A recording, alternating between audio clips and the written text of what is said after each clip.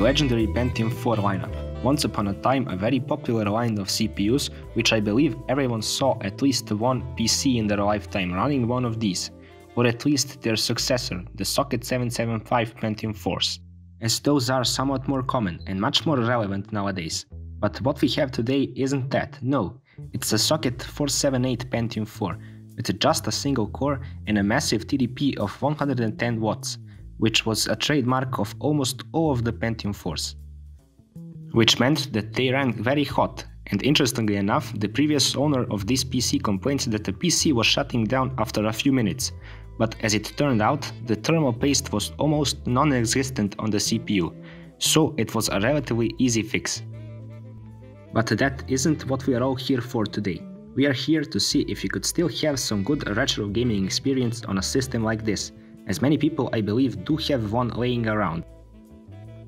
The retro system that's today's victim features 2 times 512MB of DDR1 RAM, a relatively modern-ish 2006 AGP GPU and a classic 80GB IDE hard drive for the system.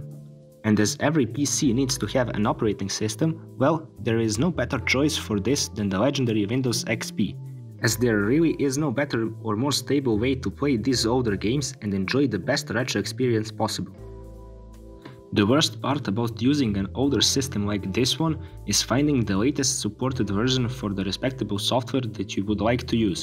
So for example, the support for Windows XP ended in 2013, and there aren't all that many good recent browser releases, with your best bet being a Firefox version from 2017, as it really works fine and I will provide a link in the description below if you're having trouble finding one.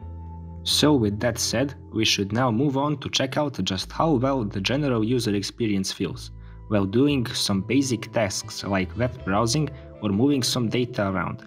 And for those of you who are just here for the games, there will be of course timestamps in the description below.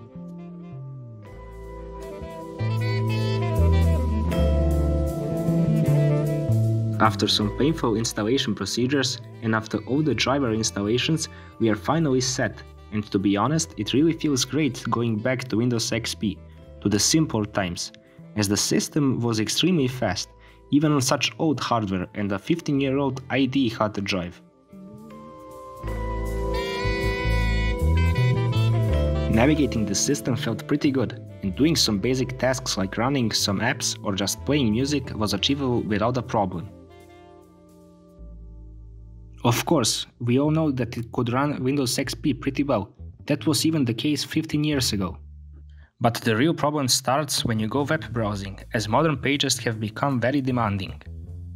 So here we have YouTube for example, which really takes a while getting ready for use, with the video playback realistically being limited to 360p, and that is without even touching the PC anymore, so it can be described as doable but pretty painful experience.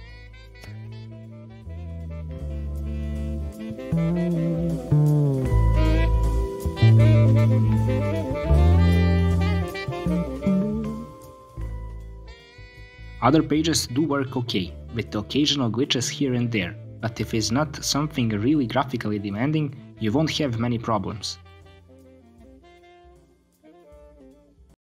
As we now move on to the gaming benchmarks, first up we have a 2001 classic, namely Return to Castle Wolfenstein, which works absolutely fine with a mixture of medium and high settings.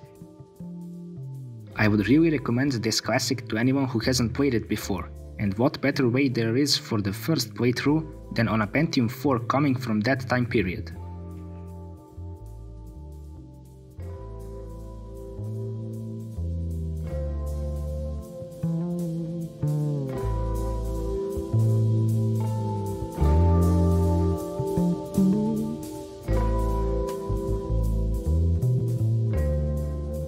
Next up is the 2005 action RPG with some beautiful graphics, namely Fable The Lost Chapters, running just above the 30 FPS threshold at 720p with medium settings. Personally a pretty enjoyable experience, but with a few stutters while entering big areas with quite a lot of vegetation or crowded cities, so maybe turning the settings down a bit could help with that.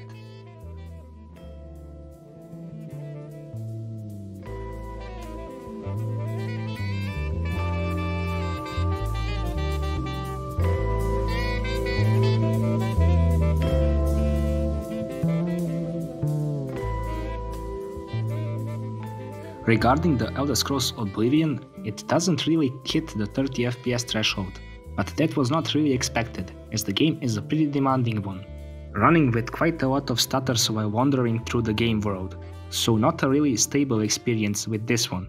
But regardless of that, the game looks pretty good even on such reduced settings.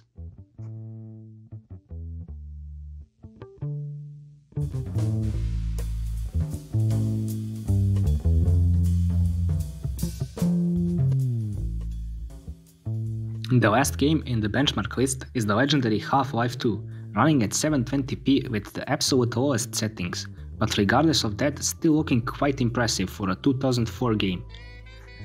And it runs with acceptable performance, with 32 FPS on average, with far less stutters than Oblivion did, so I could see someone enjoy it like this without a problem.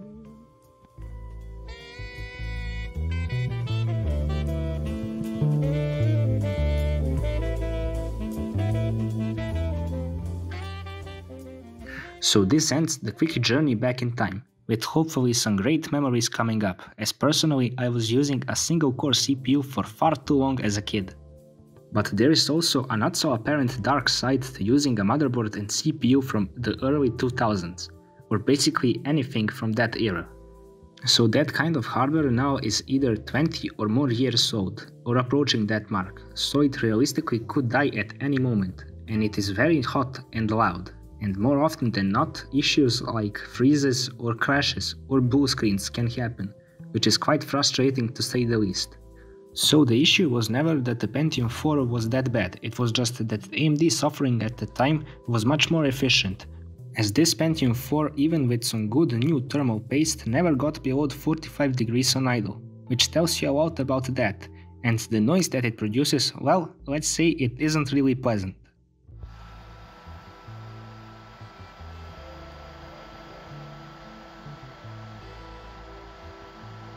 And that was just by being on the desktop, the noise levels become even more frustrating under full load. Anyways, the Pentium 4 will always be remembered as one of Intel's not so great attempts to push the CPU clocks gradually higher, hopefully providing the best possible performance, but all it brought was heat and noise, and performance not really worthy to be spoken about. But what it did was set the foundation for Intel's next disaster, namely the Pentium D series, but that's a story for another day.